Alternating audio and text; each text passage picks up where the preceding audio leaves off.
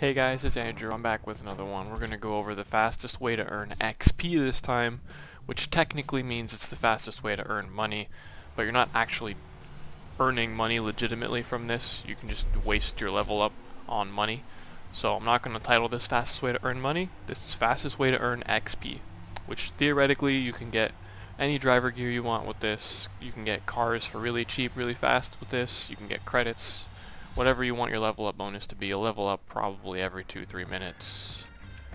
Uh, doing this method, it's about 40 seconds with loading times, something along those lines.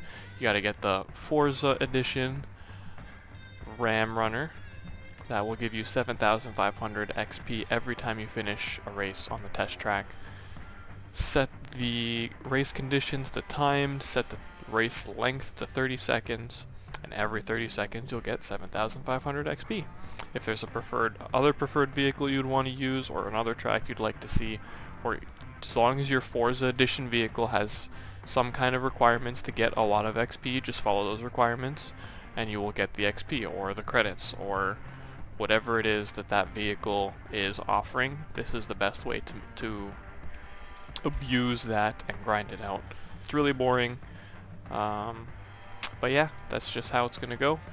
Lots of XP, really, really fast, and it's as easy as this.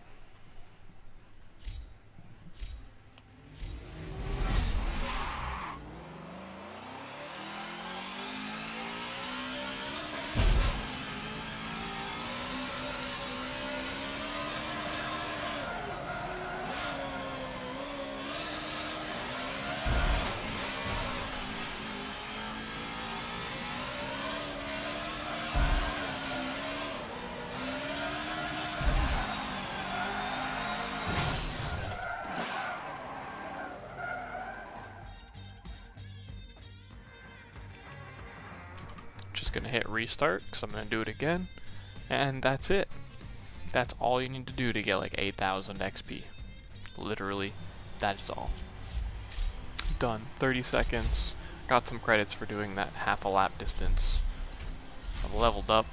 20 grand for leveling up. I kinda want this Ferrari so I'm gonna go with that.